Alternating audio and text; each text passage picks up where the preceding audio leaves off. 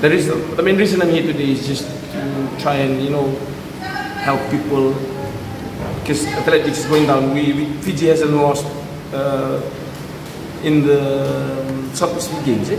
and now PNG is taking over. So the reason I came here is just trying to encourage little kids and people to get more interest in athletics because eh? it's I think it's the biggest sporting event in Fiji the Coco Games and the primary school games. Eh?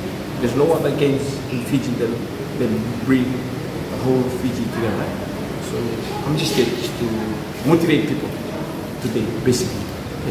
I think uh, you know there's opportunities in everything in life if you pick the right one. We're not good in our schoolwork.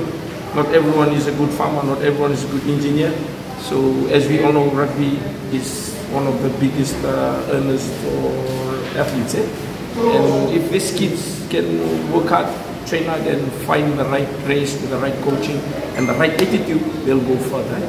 And uh, for me personally, athletics taught me to, be, to believe in yourself because it's an individual sport and work hard and it'll open doors. Eh? Because as we all know, to work, working hard, there's no substitute to working hard.